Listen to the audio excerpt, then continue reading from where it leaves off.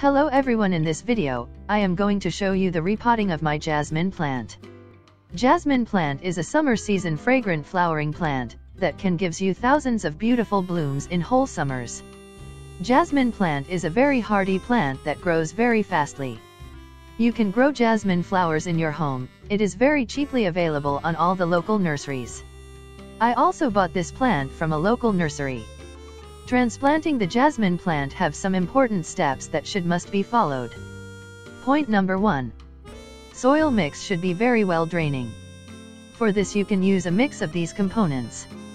Jasmine plant grows very well in a loose and well draining soil mix. Point number 2. If you wants to achieve big size jasmine flowers on your plants, then the size of pot is very helpful. Use at least 8 inches of clay pot, to transplant your jasmine plant. Here I am using a 5 inches clay pot, to transplant the jasmine. Point number 3. Don't damage the roots of jasmine plant.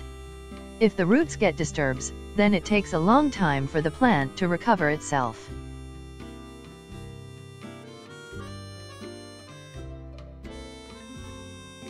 Point number 4. Always water your plants after repotting.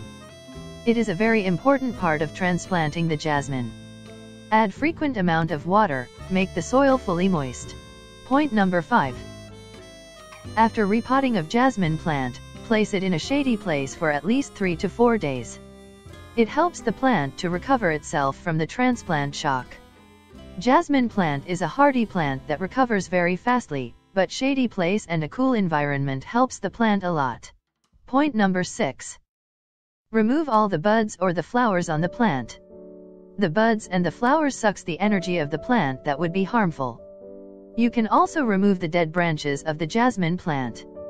Follow all of these simple steps to repot your jasmine plant. For further cares on jasmine plant, subscribe to my channel and also press the bell icon to get notified. Thanks for watching.